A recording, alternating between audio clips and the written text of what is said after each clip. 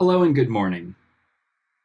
Welcome to worship at Bread of Life Deaf Lutheran Church.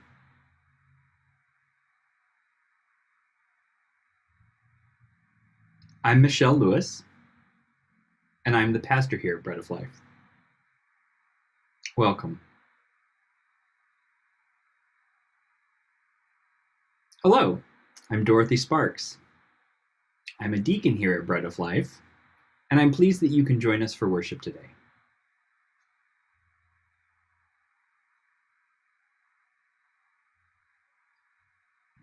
Hi, I'm David Evans, ASL interpreter.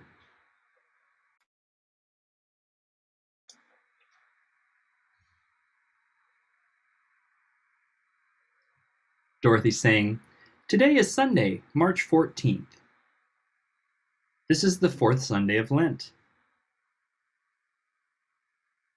Our focus today is breaking the chains of our own sense of entitlement and self importance.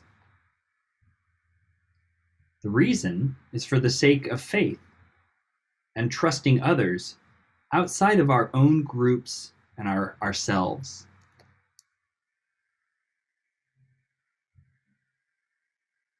Pastor Michelle. Today we will celebrate the Lord's Supper so wherever you're at right now, gather your bread and your cup, and we'll use them later in our service.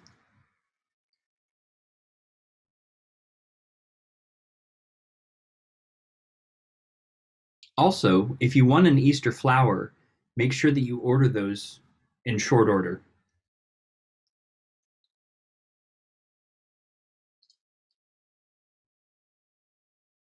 Deacon Dorothy saying, as we light our candles here, Please light your candle wherever you are.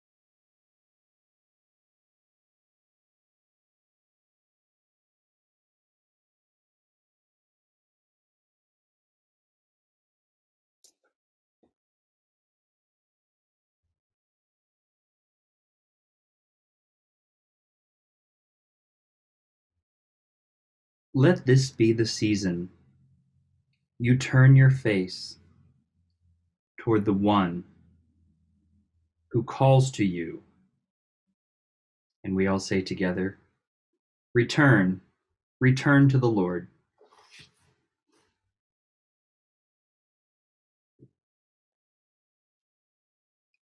Pastor Michelle. The grace of our Lord Jesus Christ, the love of God, and the communion of the Holy Spirit be with you always. And the response, also with you.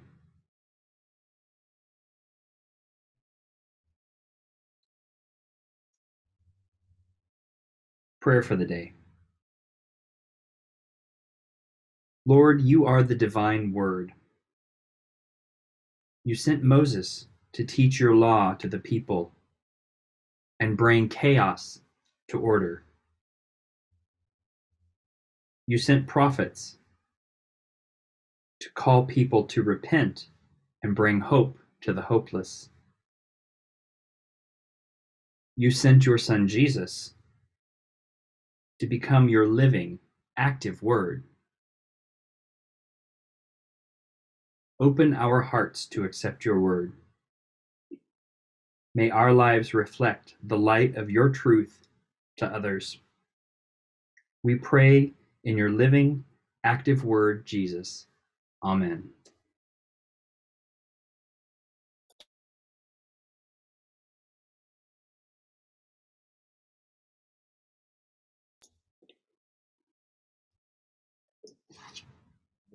Psalm for the day visual verse Psalm 41, 1 through 3.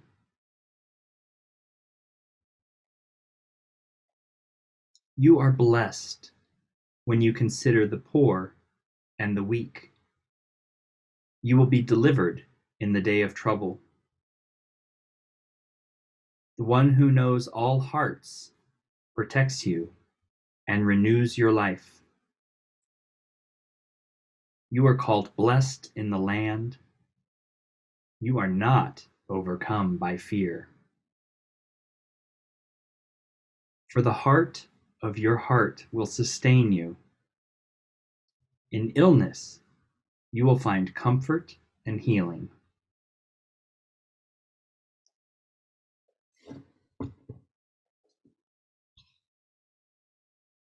And now our gospel lesson.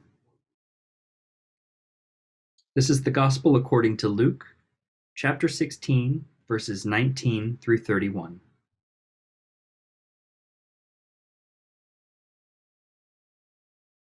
Jesus said, There was a rich man who always dressed in the finest clothes. He was so rich that he was able to enjoy all the best things every day. There was also a very poor man named Lazarus. Lazarus's body was covered with sores.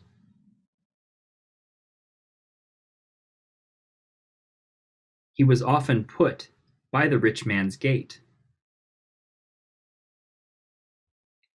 Lazarus wanted only to eat the scraps of food left on the floor under the rich man's table.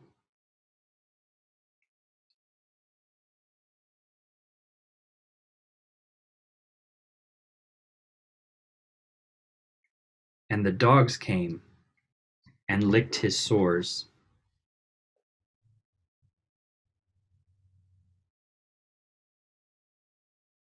Later, Lazarus died. The angels took him and placed him in the arms of Abraham.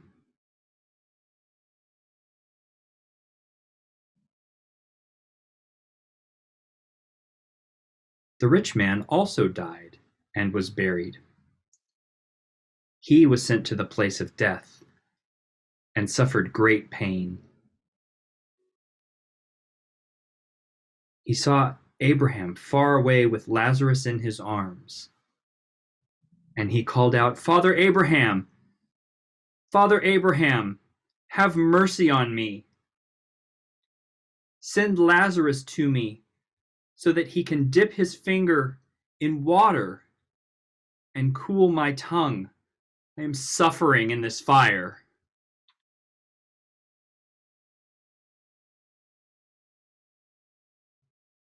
But Abraham said, My child, remember when you lived? You had all the good things in life. Lazarus had nothing but problems. Now he is comforted here, and you are suffering.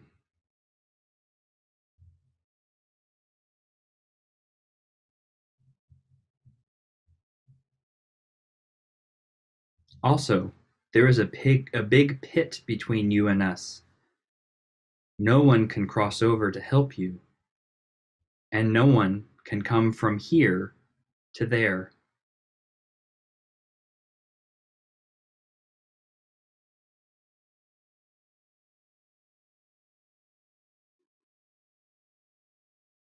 The rich man said, Then please, Father Abraham, Send Lazarus to my father's house on earth. I have five brothers. He could warn my brothers so that they will not come to this place of pain.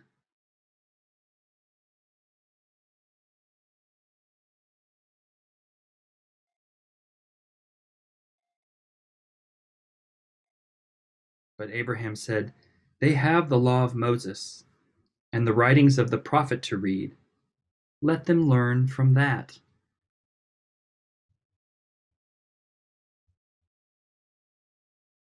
The rich man said, No, Father Abraham. But if somebody came to them from the dead, then they would decide to change their lives.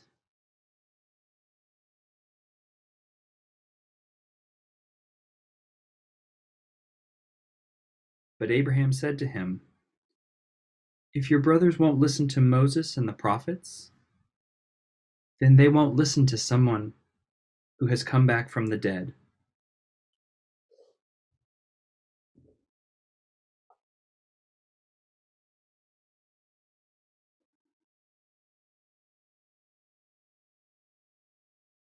Word of the Lord. My friends, grace and peace to you from our God, who is good.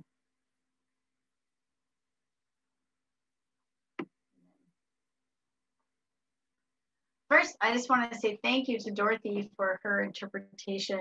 Um, I think she really helped us get a sense of um, this story. So thank you.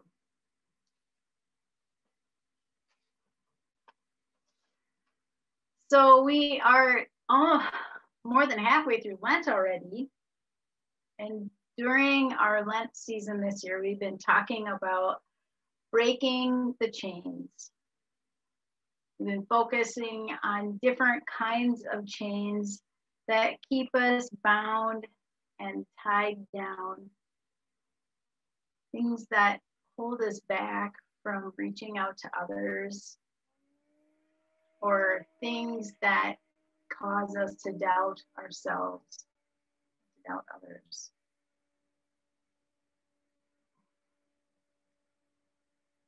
We are also making paper chains, so it's a little, I know, a little confusing. I got confused at the beginning, and so we're just going with it. So we're gonna make paper chains, and at the end of Lent for Easter, we can shred our paper chains and throw all the paper like confetti.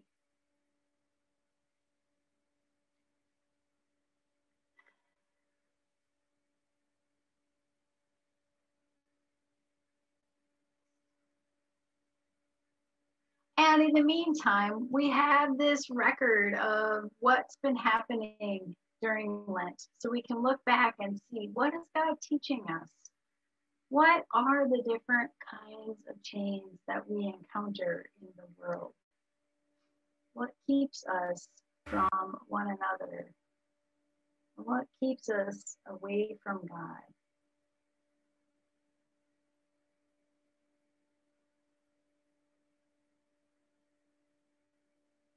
So for today, we're going to keep thinking about uh, different kinds of chains. And today um, I'm inviting us to wrestle with our own sense of entitlement or things that I deserve, my privilege, and my own self importance. I want us to think about that and how that kind of attitude or that kind of perspective will keep us from trusting others maybe those attitudes keep us from caring for others.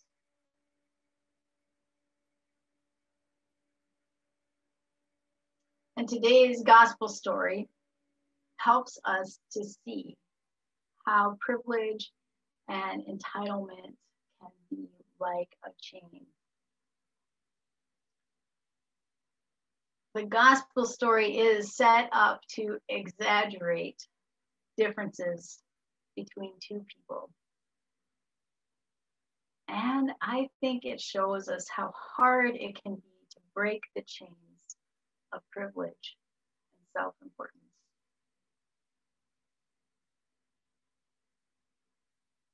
So I invite to wonder where you might feel more important than someone else. or how you might be moved to show mercy and kindness to another.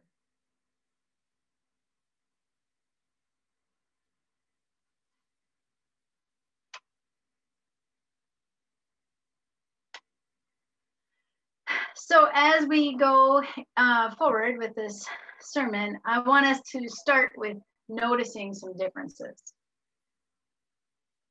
So, in today's gospel lesson, there are two men who are described.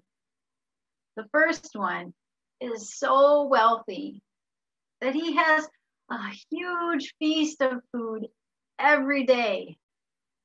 It's like Thanksgiving every day at his house. He dresses in the finest clothes, and he has servants tending to him. This guy can go, come and go. He can decide what he wants to do with his day every day. He can decide what he wants to do and when he wants to do it.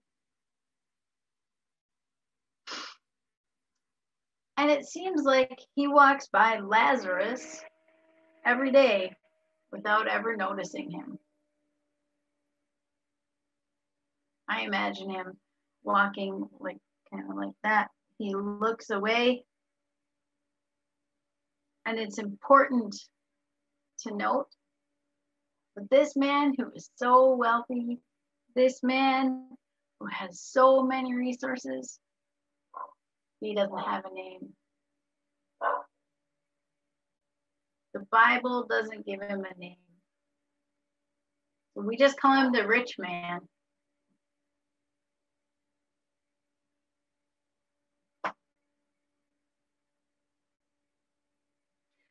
The other person in today's story is named, he has a name.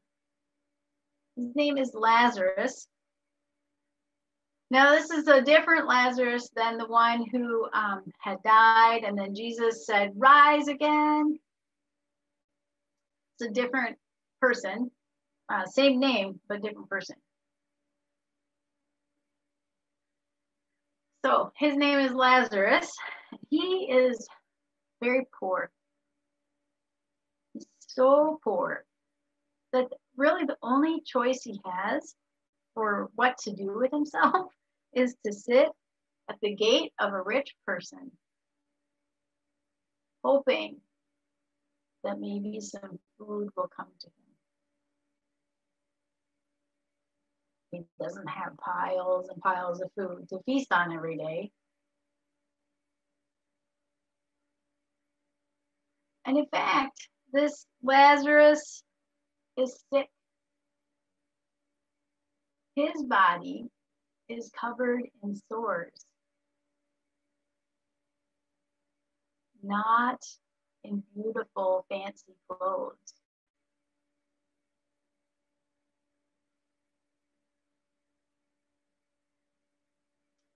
Lazarus he doesn't have all the choices to come and go. He can't decide, what will I do today? Where will I go today? What am I going to do? Lazarus doesn't have the luxury to stay home and not go to the gates of the rich man. Because if he doesn't go and beg, what will he eat? How will he take care of himself? Lazarus is a person who is an outcast in his society. He doesn't have many choices in his life. In fact, the story tells us that the only comfort he really gets is when the wild dogs come and lick him to try to give him comfort.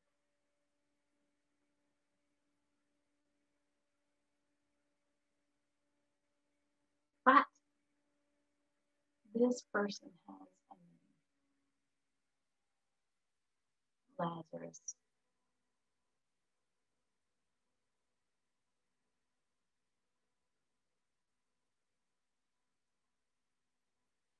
So the story sets up to show us that really what seems to be important is not important. Having everything you could possibly want, fancy clothes, lots of food, that's not important.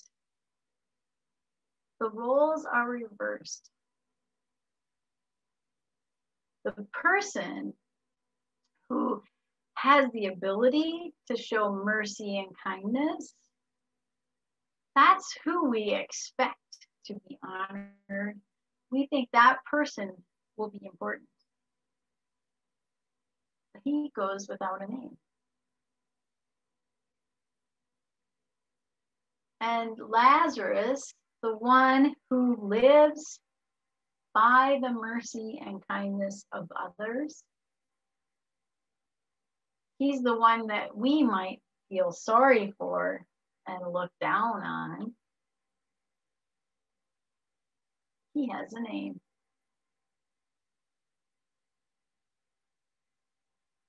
So the story is set up showing these huge contrasts between their lives to help really emphasize the point.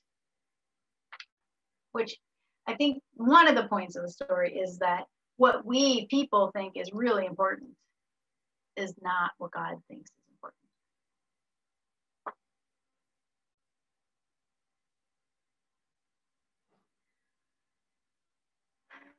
Then both the men die and you can see that the contrasts continue, right? The rich man has a formal burial with the nicest fabrics and the best location. And there's a big group of people who come to mourn for him. And when Lazarus dies, no one really notices that he's gone. The angels themselves come to carry him away.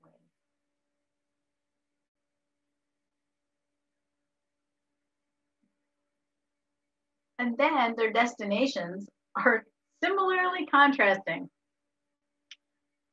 The rich man is tormented. He goes to Hades. He is tormented and burning, and he is far, far away from the people of faith, represented by Father Abraham. Rich man is in agony.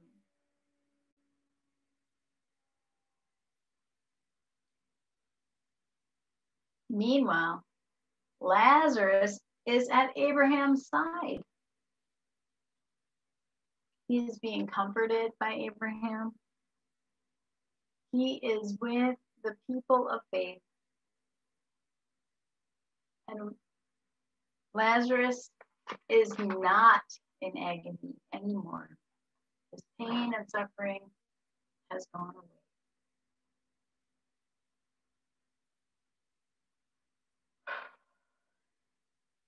But this is funny, I think. The rich man thinks that he is still in a position to order Lazarus around. He thinks he's in a position of privilege to tell other people what to do and have them serve him. Even in the fires of Hades, that rich guy thinks he's in control.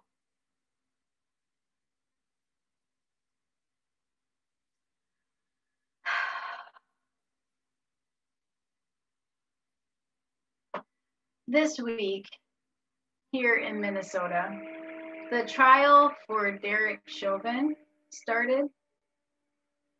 He is the police officer who kneeled on George Floyd's neck and killed George Floyd in May of 2020.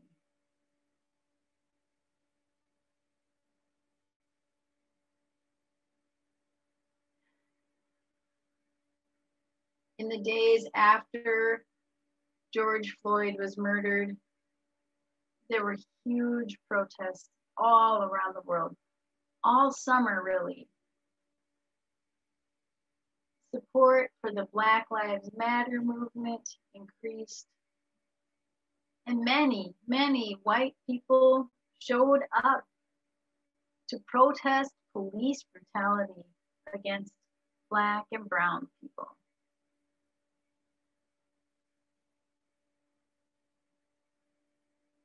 It was common to see newspaper reports and TV stories about reforming police funding.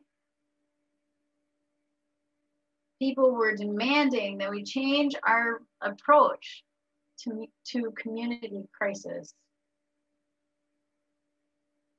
Saying, instead of sending armed police into situations where someone was having mental health crisis, that instead we train up counselors and first responders who are able to support people, help de-escalate the situation.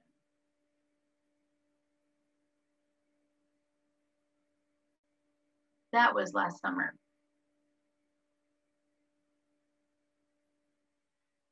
And now, about 10 months after George Floyd's murder, support for these kinds of changes and action is fading.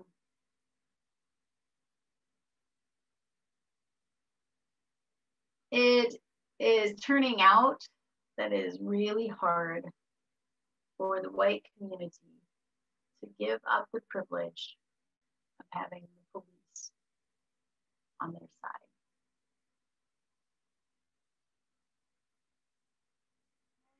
It turns out it is a lot harder to imagine, um, to reimagine safety for other, for everyone, rather than safety for only some.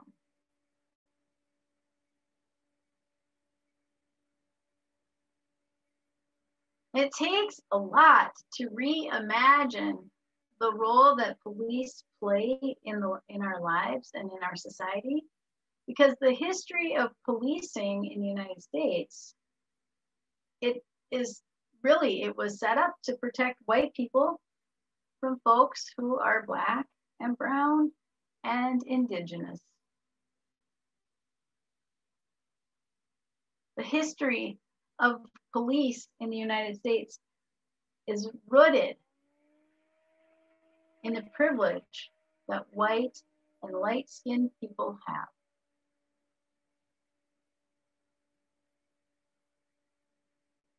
Privilege that presumes white and light skinned people are innocent. Privilege that presumes white and light skinned people are doing the right thing and following the laws. Really, it's privilege that presumes anyone else who has darker colored skin is not following the rules.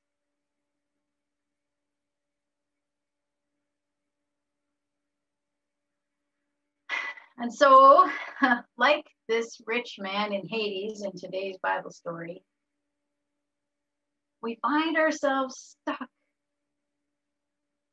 in a place of thinking that we deserve privilege, that we ought to be in control.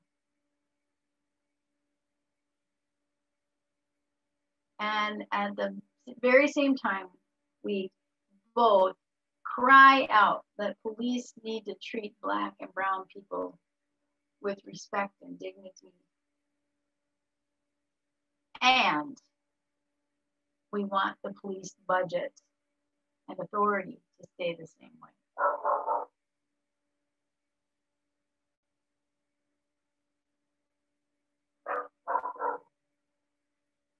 Now, I want to just make a note here that I am learning, learning lots about privilege. And I know that there are layers and layers of privilege.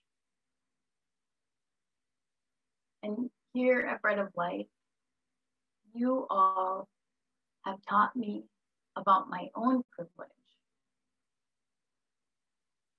That I have access and opportunities to all kinds of things because I'm able to hear. Opportunities that you are not given because you are deaf.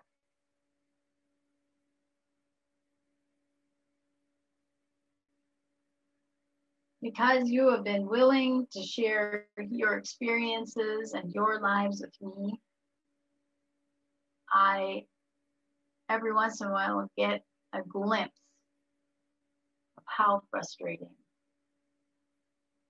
and isolating life can be for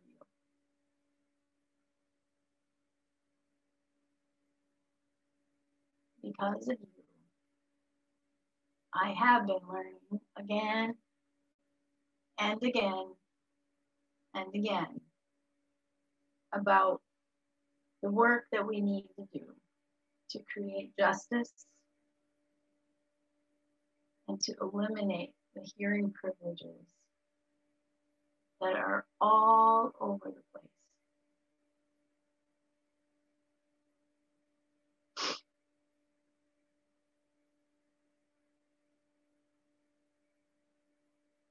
So I recognize that, or I begin to recognize that. And also need to say that even though I have more privileges than you,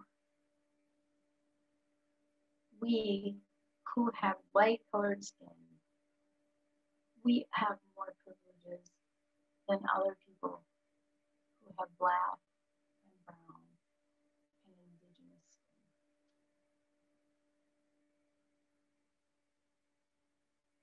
That means that here in our church congregation, we still have a lot to do.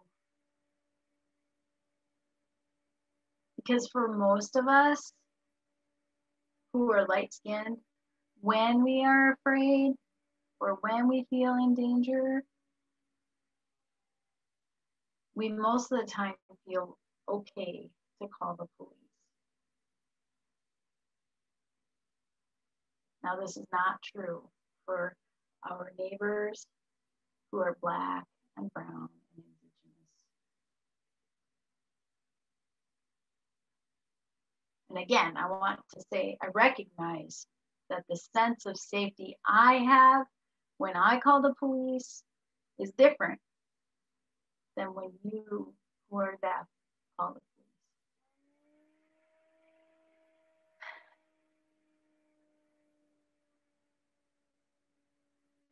And still, we all have to keep learning. We have to learn how our behaviors can be hurtful to others. And we have to continue to lift up our hands and raise our voices to declare that everyone, everyone needs to be protected under the law.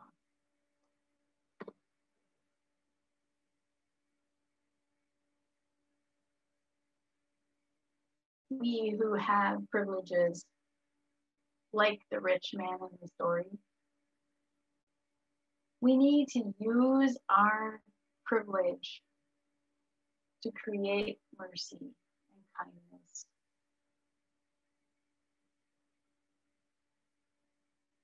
We need to keep contacting our local state, local and state leaders, our national leaders too, to let them know that we, who are people of faith,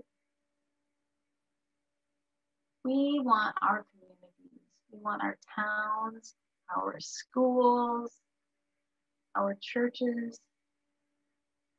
We want these places to be places of justice and safety for everyone, regardless of skin color, regardless of whether we can hear or not.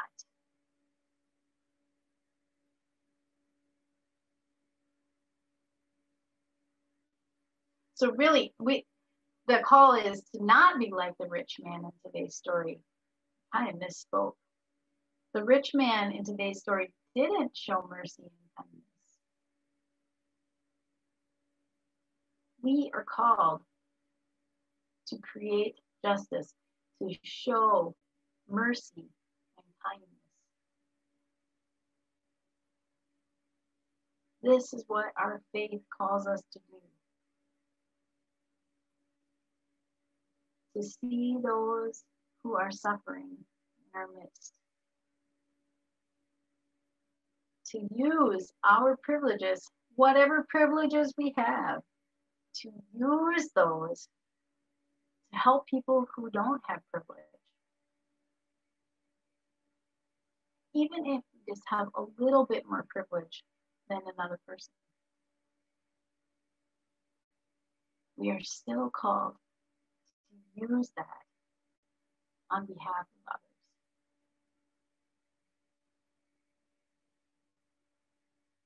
So, my question for all of us is what will we do this week to use our privileges to help others?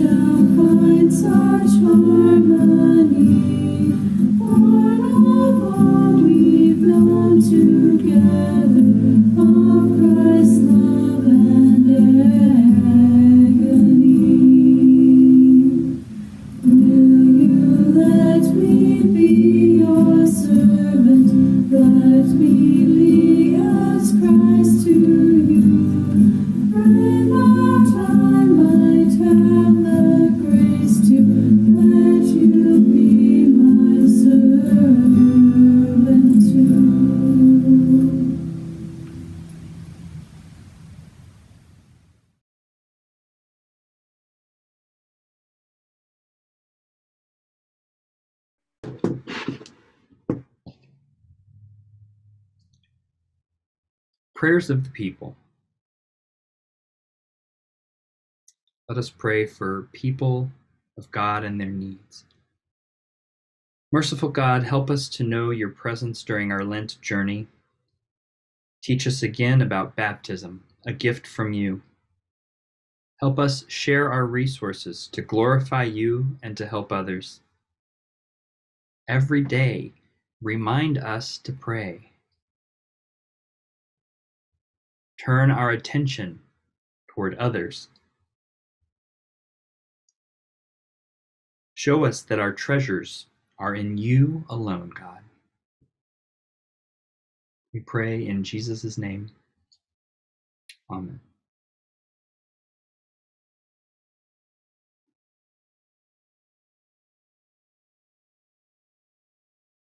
Pastor Michelle. May the peace of the Lord be with you always. We say together, and also with you. Those of you at home, please share a sign of God's peace with one another, which means maybe you need to text somebody or send them an email,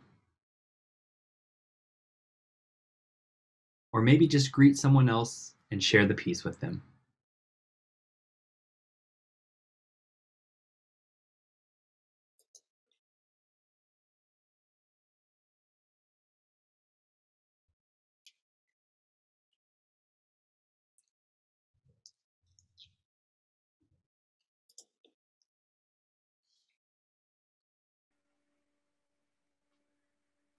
All right, we're at our time in worship again this week where we uh, think about those candles that are in the screen with Dorothy.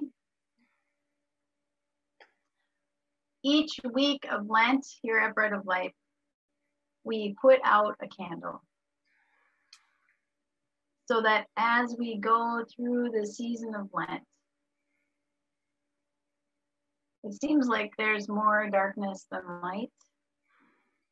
Kind of matches how we feel like maybe there are more problems in our world than there are solutions. During Lent, we remember again this story about how Jesus is betrayed, how he suffers and dies.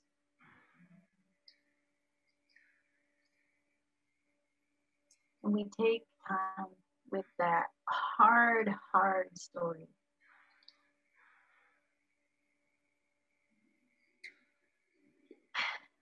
And this week in Lent, it's not an easy thing that we are wrestling with, right? Our own tendencies to think that we are more important than someone else.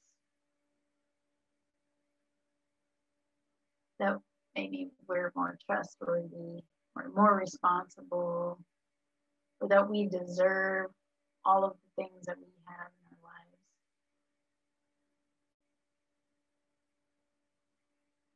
lives. And we ask God to help us break those chains that keep us feeling as if we deserve God's love, as if we are more important than others. Because these chains keep us from trusting others, from respecting others. These chains keep us from trusting God.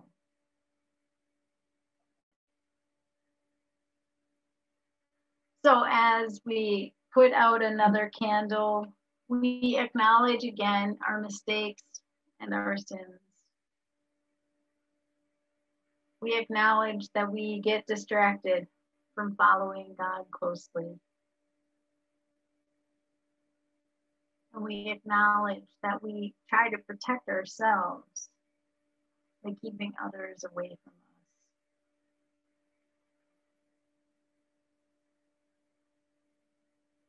We pray to God for hope and help to trust.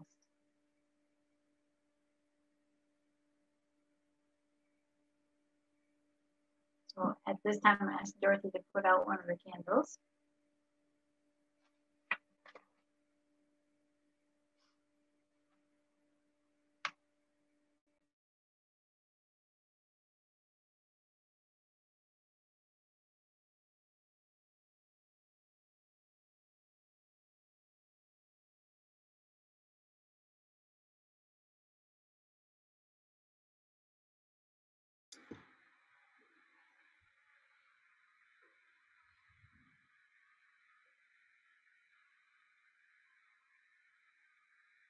Let us pray. God, as we journey through this holy season of Lent, give us strength and courage to follow you more closely. Open our hearts and minds to your constant presence. Help us to put our trust in you. Amen. Uh, and just like every week, come to this time in our worship service. That's a little weird. it's when we ask everyone to give us some money. we do turn our attention to God in Lent. And we are called to put our faith into action one way that we people experience faith is by giving some of our money away. And when you give a little bit or maybe a lot of it of your money to Bread of Life, you help us in our mission to share the good news that God loves everyone, whether you can hear or whether you can't hear. God loves everyone. And here at Bread of Life, we love everyone too. And so we share the good news. God loves you. And so we invite you to give generously, to put your faith into action.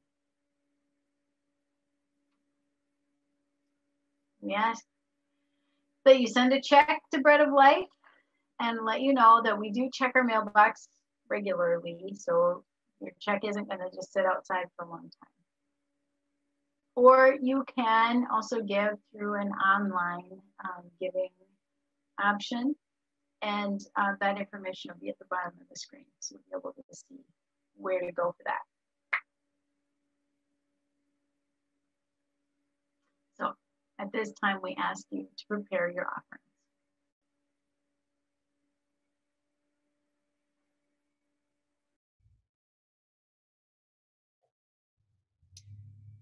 An offering prayer. Let us give God our gifts and pray, Lord, when you open your hands, we are filled with good things. May our gifts be signs of our gratitude and reveal your love to the world. Love which embraces all of your children. Amen.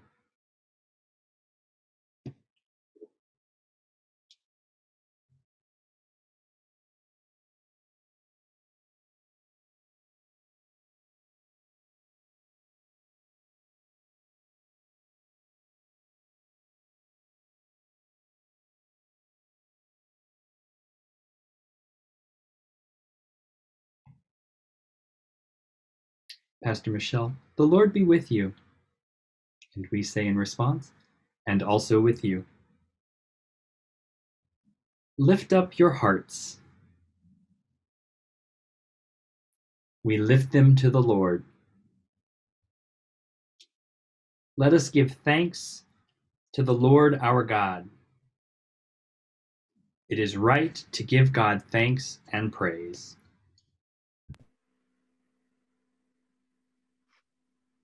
It is our duty and our delight that we should everywhere and always give thanks and praise to you, Almighty and merciful God, through our Savior Jesus Christ.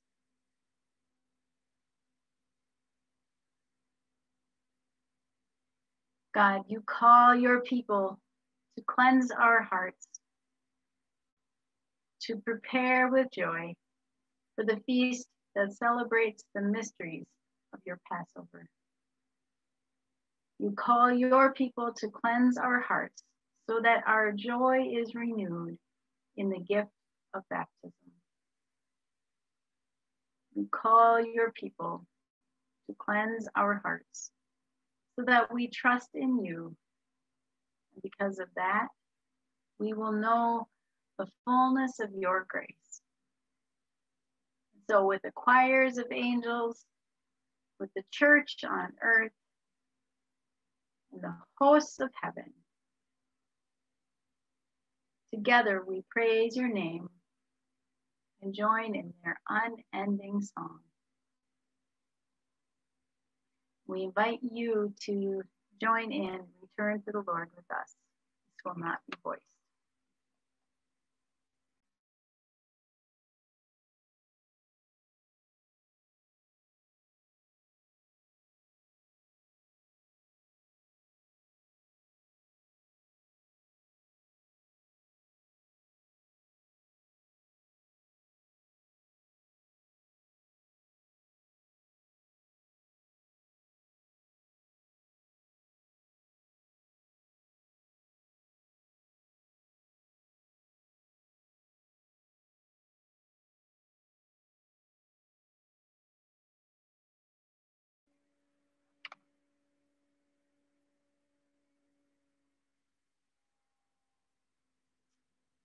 On Jesus' last night, when he gathered to eat with his friends and followers, he was betrayed.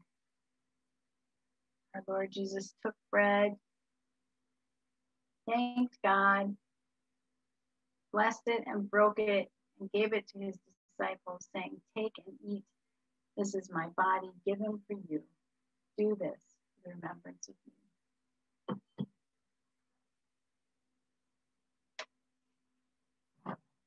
Again, after supper, Jesus took the cup, thanked God, blessed it, and gave it for all to drink, saying, This cup is the new agreement in my blood, shed for you and for all people for the forgiveness of sin.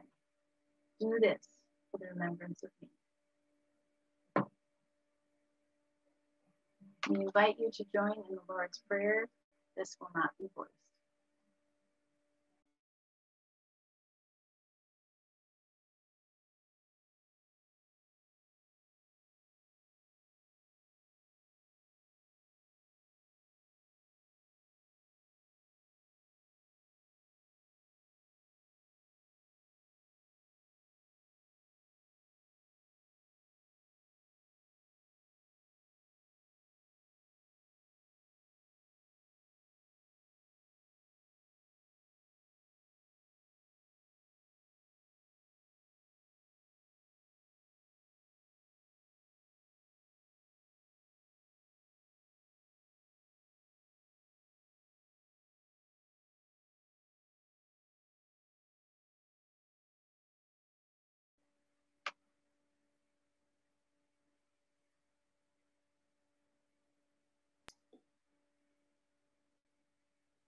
Return to the Lord your God.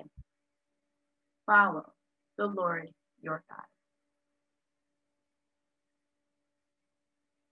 You are all invited to the table here, for this table belongs to God, and we are honored to share it with anyone who desires to feast. When you serve one another with the bread, please use language a body of Christ given for you. And with the cup, please use language, blood of Christ shed for you.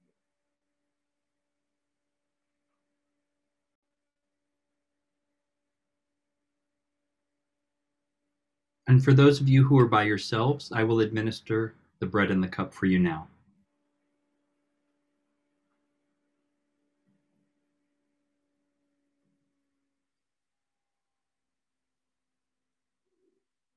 Body of Christ given for you.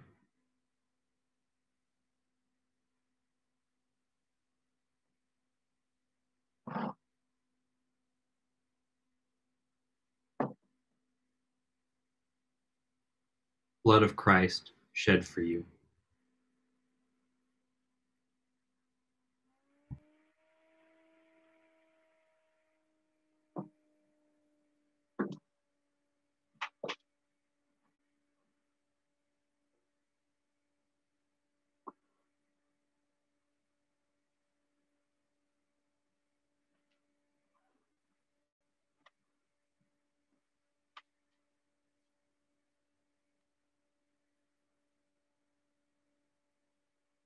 Body and blood of our Lord Jesus Christ strengthen you and keep you in his grace, now and forever.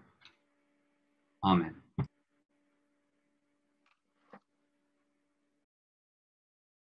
Let us pray.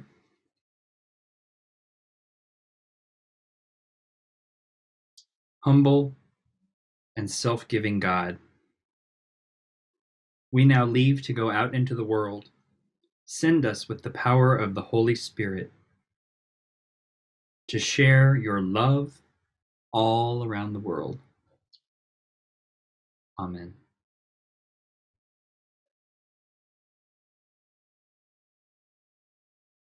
Pastor Michelle, receive the blessing before you go.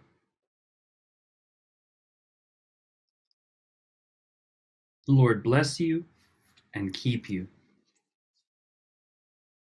May the Lord's face shine upon you with grace and mercy.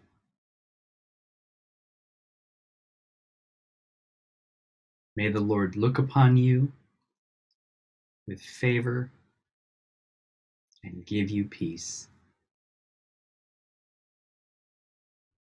Amen.